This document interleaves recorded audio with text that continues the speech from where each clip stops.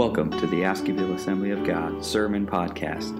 We're so glad you've taken the time to listen, and we pray this message from our pastors will be a blessing on your life this week. Uh, thank you again for your prayers. Uh, when when uh, I resigned the church and, and I was uh, really contemplating, I said, Lord, what do you want me to preach in the English speaking churches, the Russian speaking churches? What do you want me to preach? I mean, I've got a lot of sermons in my office. So what where do I focus on? What do I focus on? And the Lord began to lay on my heart uh, the subject of the Holy Spirit. Now, I believe that all of us here realize and recognize America has some major issues in it, huh? Can you say amen? We got major problems. But can I let you know, if you don't know already, that the answer to America's problems is not in a political party, but the answer to America's problems lies within the church. And it's not just any church, it's a spirit filled church that's got the power of God flowing through it. You see, in Acts chapter 1, verse 8, it says, You shall receive power after the Holy Holy Ghost comes upon you. And we need the power of God flowing in our lives if we're going to reach our community, if we're going to see souls saved, if we're going to see America changed. It's going to take the power of God to do it, not a political party. So, I began to think about our, our messages on the Holy Spirit, and the Lord has directed me this morning to go to Second Kings chapter number 4, verses 1 to 7. If we could, let's uh, go there. It should be on the screen, and let's uh, read this. Second Kings chapter 4, verses 1 to 7.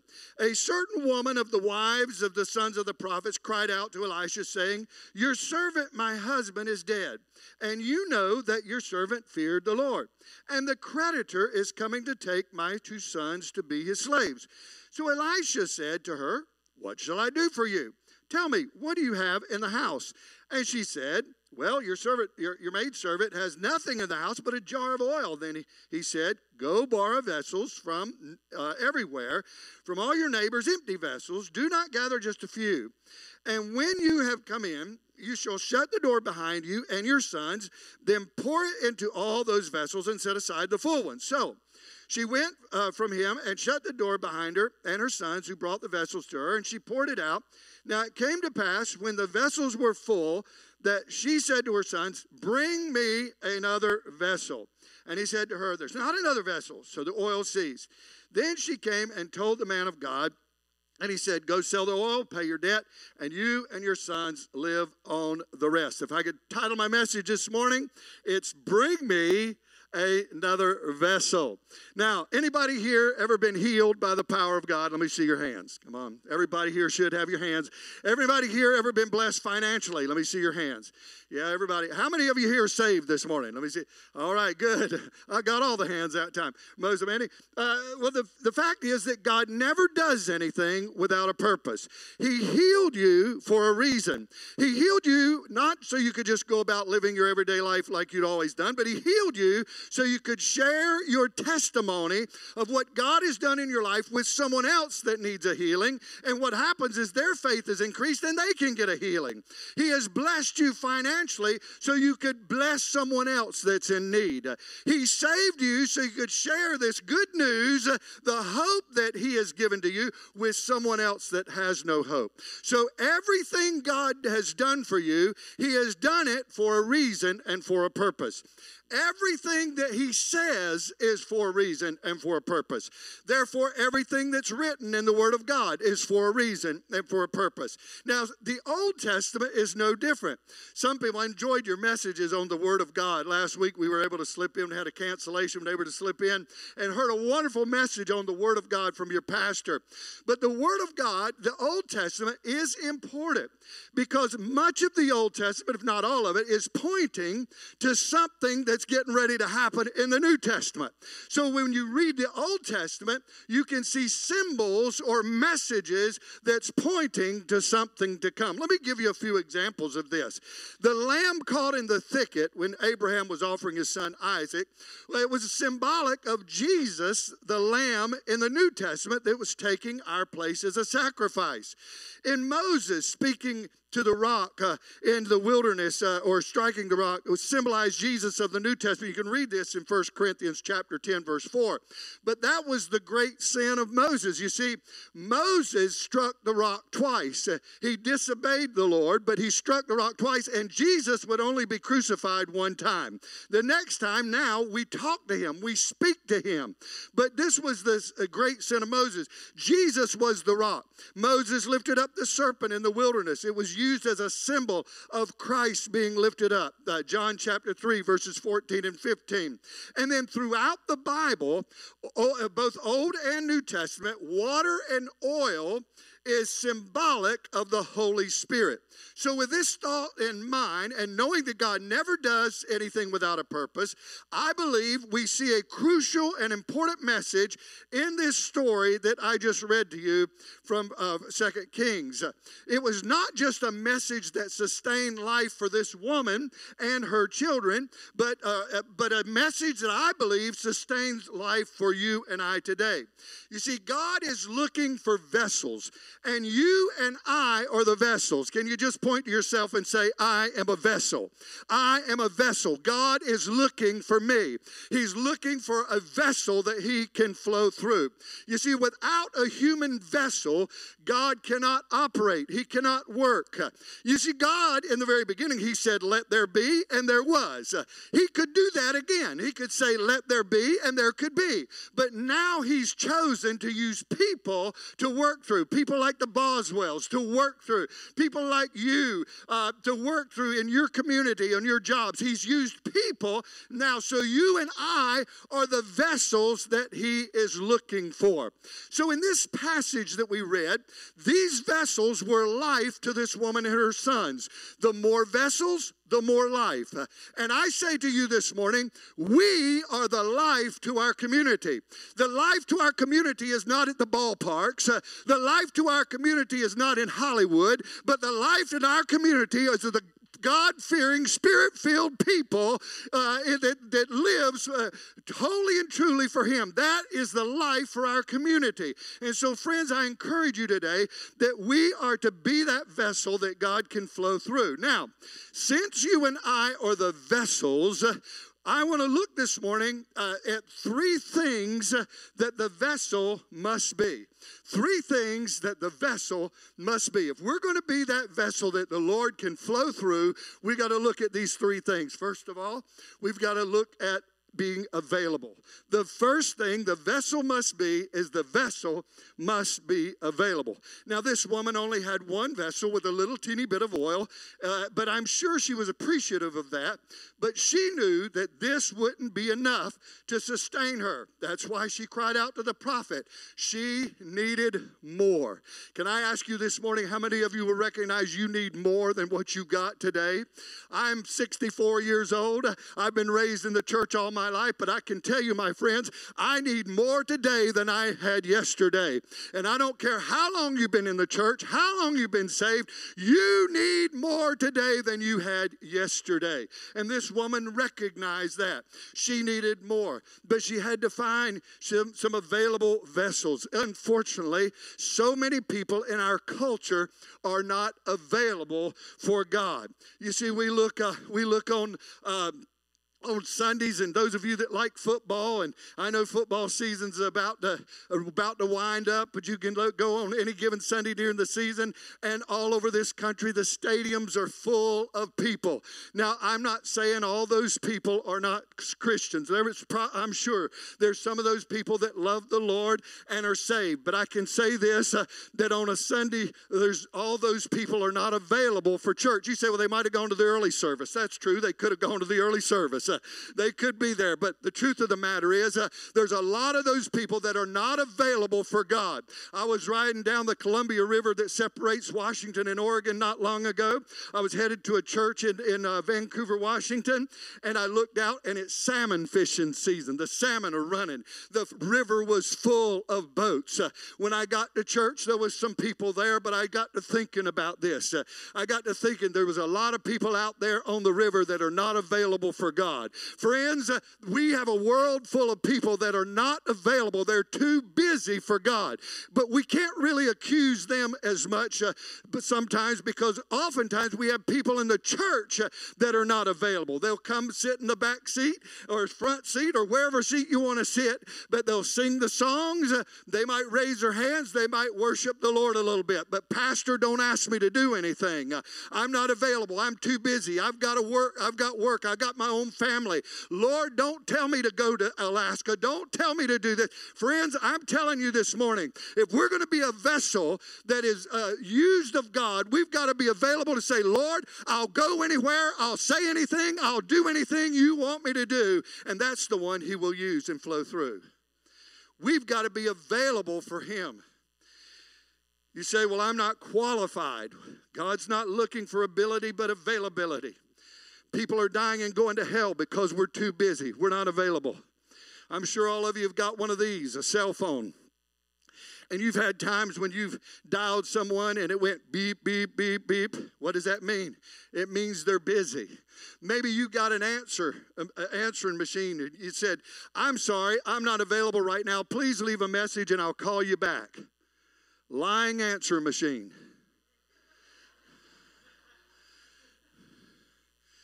They don't call you back.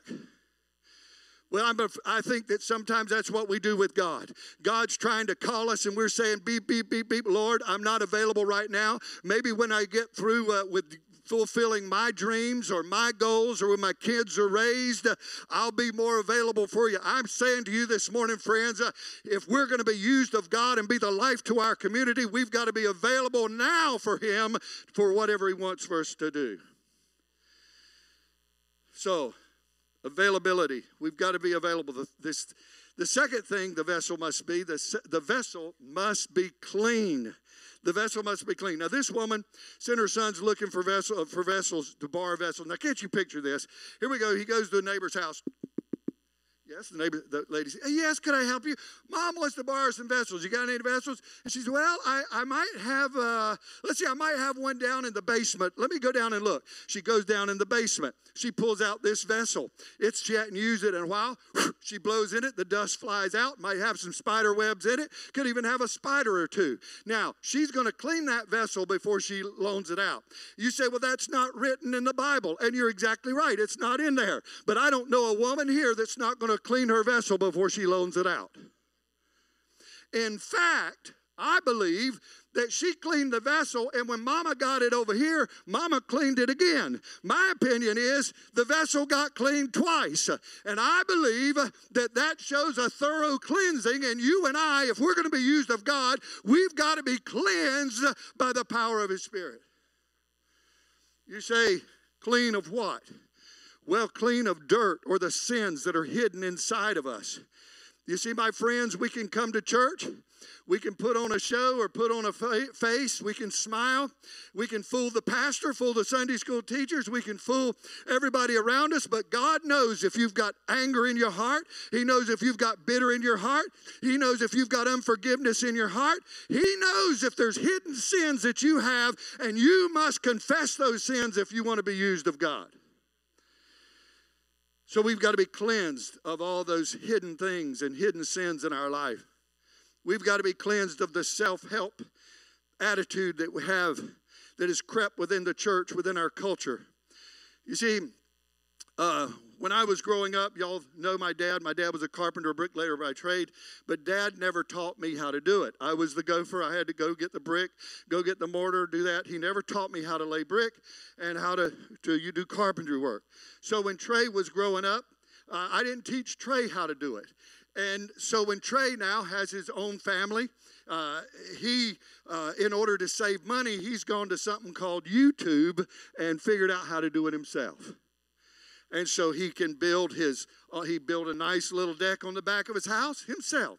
He has uh, uh, prepared things in his house. He's done it himself. And those are really nice things to do. You know, it's nice to be able to do things like that yourself and save a little money.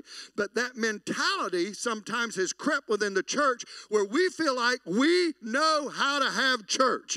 We know the songs to sing that'll move people. We know how to how to the words to say and we learn how to do it ourselves. My friends, we can do absolutely nothing ourselves. We cannot have the church without having the spirit of the presence of God in this place.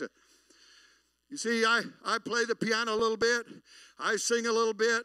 I've gone to college and learned how to put together a three point sermon and everything, but I want you to understand I don't want to get on those keyboards without having the anointing of God on my life.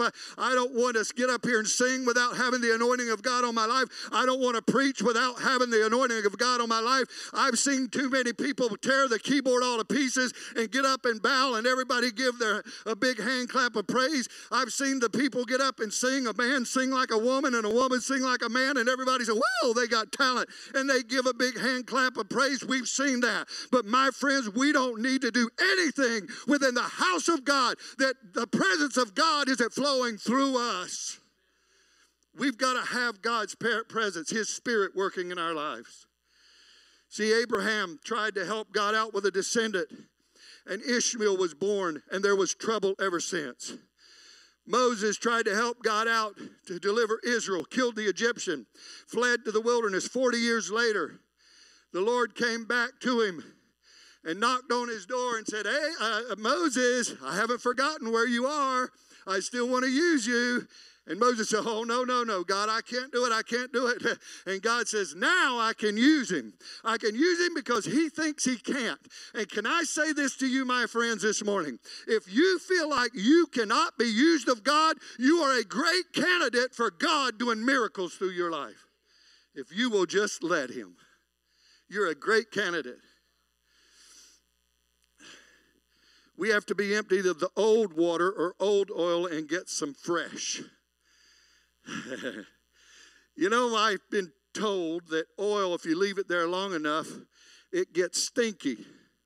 And I'm afraid in a lot of Pentecostal churches around our country today, there's people that have gotten the Holy Ghost years ago, but they don't have a fresh touch and they stink. We need a fresh touch, a fresh oil, a fresh flowing of the Holy Ghost in our life today, uh, my friends. Listen, we need to be emptied of the old and get some fresh. Sometimes trials come into our lives in order to empty us of our sin of self help or our attitudes that we have. Other times, trials or temptations may come to get us ready for something bigger or better. And I think that one of the great stories of the Bible, Joseph, is an example How many of you like the, the story of Joseph? Joseph, it's a really cool story. His life was like a roller coaster. Anybody like roller coasters here? Well, let me see. Roller coaster people. I got a few roller coasters. I hate roller coasters. I don't like them. I just not too long ago, Cherie, maybe about six months ago, Cherie found out I didn't like roller coasters. She said, Dad, I thought you loved roller coasters. You always went with us. I said, I just did it for y'all. You know, we do stupid stuff for our children you know? And I said, I said, no, I just did it for y'all. You know why I don't like roller coasters? Two reasons. Number one, Number one, you get to the top of that thing and it goes boom, and when it falls, your stomach's left up there and your body's down there, and it makes you really feel uh, yucky. You know what I'm saying? And the second thing is the Bible says, Lo, I am with you always, and I'm way up there. And when it goes down there, I get scared to death. So why pay good money to get sick and get scared? Doesn't make sense, does it? so I hate roller coasters. But sometimes life is like a roller coaster. You ever had life, you know, one day you're up here, things are going good. The next day you're down in the valley. Or maybe it's the one week you're up here, the next week you're in the valley. It might be some news you had or some things that happened at work or whatever, but life is like a roller coaster. You're up here, you're down here. You're up here, you're down here. Well, Joseph's life was like a roller coaster. You see, he was a dad's uh, best kid. Now, just a little bit of advice for you young people that are here. You're going to have multiple kids. You got you have to love them all the same. You can't have one you can't love one over the other. You got to love them all the same. Now, Webb, Pastor Webb, you got to love them all the same now, okay? I preached at a I preached at a Russian church uh, back in Vancouver in September, and the pastor had 17 children. He was 50 years old, one wife, and had 17. And I told him, you got to love them all the same. I'd get them confused. Which one are you? I forget what. I wouldn't know which one was which. but Joseph, he was number 11. He was number 11 out of 12. And dad really loved him best. Dad bought him a nice, colorful, colorful uh, jacket. He'd walk around. Kind of reminds me, I know it wasn't Hunter's Orange, but it would remind me of Hunter's Orange in the sense that it stood out. You know, he had this jacket. He walked around proud. Look at me. Dad loves me best. Dad loves me best. He was on cloud nine, 17 years old, loved the best and all that. But his brother sold him into Egypt. All of a sudden, the bottom fell out. And now he is gone from family. But then he gets a good job at Potiphar's house and he's back on top again. But then he's accused of rape and now the bottom falls out again. He's put in prison. But then finally, he's put in second command of Pharaoh and he's back on top. His life was like a roller coaster, but all the time, time, God was getting him ready to preserve his people. And can I say to you this morning, friends, your life might be like a roller coaster. You may be up today and down tomorrow, but if you will hold the course and stay the course and continue to trust in God, God is preparing you to deliver your community, your family, and I believe your nation. But you've got to stay the course, even though it might be difficult. So, John the Baptist, he must increase, but I must decrease. We got to be cleansed. We got to be purified. God's tomorrow of wonders awaits our today of sanctification. I heard someone just say recently the oil cannot flow where the blood has it cleansed. And so, friends, we've got to, if there's things in our life, we've got to ask the Lord to forgive us. But let's look at the third and final thing the vessel must be. Number three, the vessel must be full. The vessel must be full. Now, I don't believe that this woman, when she started filling the vessels, I don't believe she filled it half full. I don't believe she filled it three quarters full. I believe she filled it so full that it was running over. That's what I would do, you know? I mean, that's why I believe, you know, the Bible, but she filled it so full that it was running over the sides. Can I say this to you this morning, friends? That's what the Lord wants to do with you and I, is to fill us so full that we're running over the sides that people around us are being blessed. You don't even have to say a word when you walk by someone. You go by someone in the grocery store and just walk by them. You're so full of the Holy Ghost uh, that you walk by someone and they say, Whoa, there's something I feel about that person there. You can be pumping gas on one side of the gas pump and somebody look around, they feel the presence of God in your life. I'm saying that is possible because it was possible for the early church.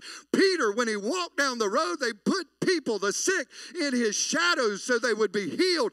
I believe you and I can be so full of the Holy Ghost that that same thing can happen to you and I. And that's where revival will take place in our communities. We've got to get full of the Holy Ghost. I don't care what you had in the past, uh, we've got to get full today. I like to fish. George Henderson Hoggard has been a great minister to me throughout the years. Because George Henderson Hoggard would always tell me, he said, Pastor, my ministry is taking the pastor fishing. Now, we all know that George Henderson Hoggard and Brenda Hoggard, they had a greater ministry than that of teaching kids for about 50 years. But I sure enjoyed that ministry that he had of taking the pastor fishing. Every pastor needs some sort of a minister like that. Now, I'm going to tell you, I, I went to one church and the pastor said, I don't like to fish.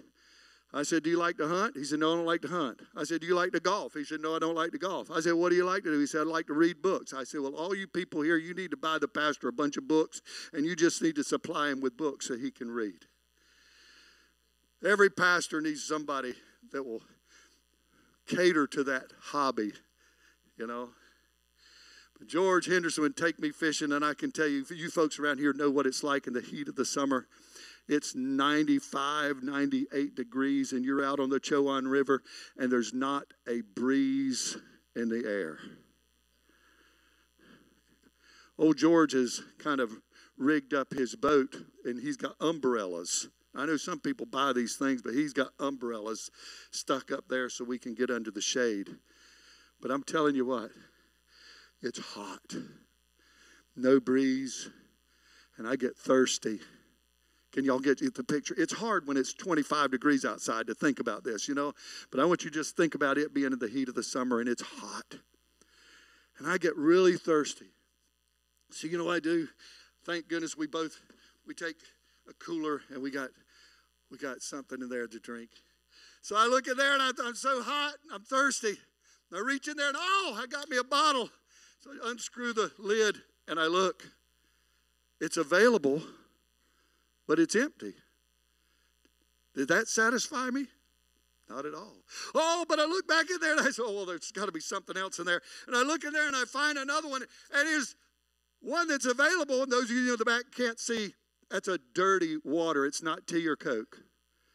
That's dirty water. It's available, it's full, but it's dirty. Do I want to drink that? No, and neither do you.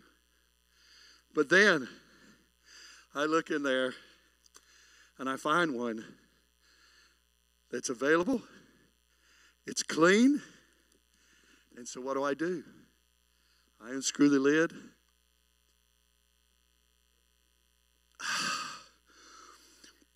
It's good when it just runs down your chin. See, friends, we live in a culture, in a society of thirsty people. They're thirsty and they don't know what they're looking for. But you and I have what they're looking for. But we can't give it to them if we're not available, if we're not clean, and if we're not full. We can't give it to them. Most of you know, or some of you know, my childhood.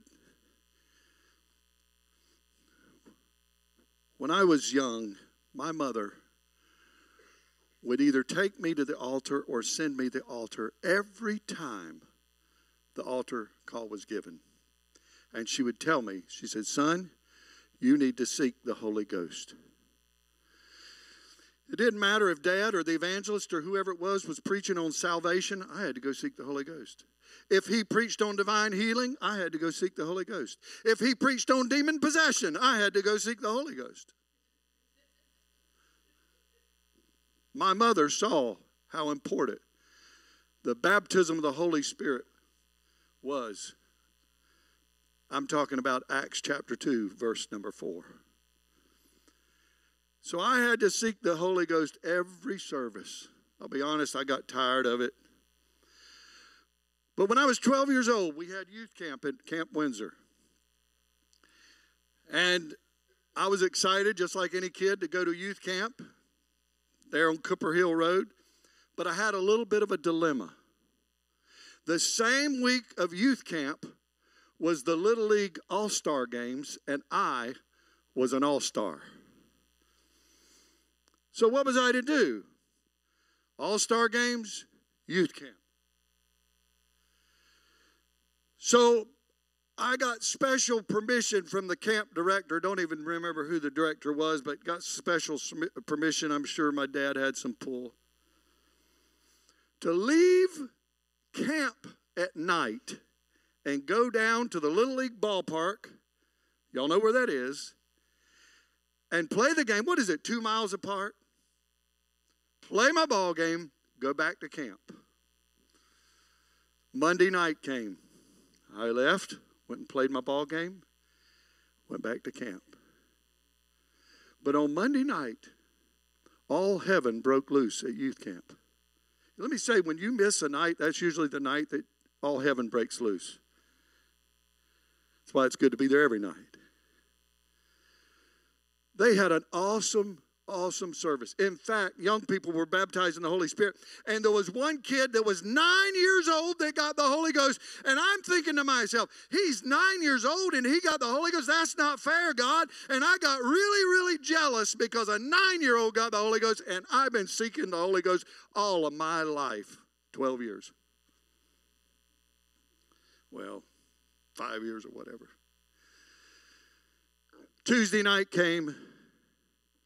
My dad came to pick me up, and I met him out at the car. I said, Dad, I'm not going to play ball tonight.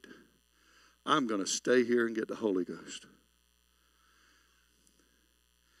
That night, about nine o'clock, they gave the altar call, and I went to that prayer room on the left hand side facing the platform, and I began to pray for the Holy Ghost. And can I just share with you this morning that we always seek the giver, not the gift? You need to seek the Lord. And I began to just love on Jesus.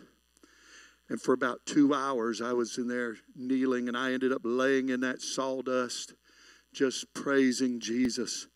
But I can remember this so vividly, my friends. They were singing the song, Fill my cup, Lord. I lift it up, Lord. Come and quench this thirsty soul of mine. Bread of heaven, feed me till I want no more. Fill my cup, fill it up, and make me whole. And as they began to sing that song, oh, it just, just stirred my heart. And all of a sudden, that precious gift of the Holy Ghost came upon me, and I began to speak in another language that I had never even heard of. And I want to share with you this morning, friends. I don't know who won the ball game. I don't know who they got to take my place, but what I got that night, I still have today, and it's been sustaining me and helping me. And that same gift is for every person that will hunger and thirst after righteousness. When we were 12, when my Shelly was 12 years old when we first went to Russia, my kids were 10, 7, and 4. But when she was 12, Shelly, my oldest, we came back. Y'all were in revival with, I believe, Teeny Fair. Powerful move of the Holy Spirit. Shelly had never been baptized in the Holy Spirit. But Shelly sought the Lord that night, and she was baptized in the Holy Spirit. She was on this side right here. The Lord baptized her, but she spoke in tongues for five hours. She laid right there for five hours. I know I stayed with her till three o'clock in the morning. Five hours. When she got up, she said, Dad, my jaw hurts. I said, I guess so. You've been talking five hours straight. This was a 12 year old girl, and today God is using her on the mission field, St. Petersburg, Russia. I want to say, you cannot belittle what God wants to do through you if you will just let Him. He wants to fill you and refill you, but you've got to be hungry and thirst. I want you to stand with me right where you are. Would you do that this morning? Thank you for joining the Askewville Assembly of God Sermon Podcast. For more information on our ministry, please visit our website at askewvilleassembly.com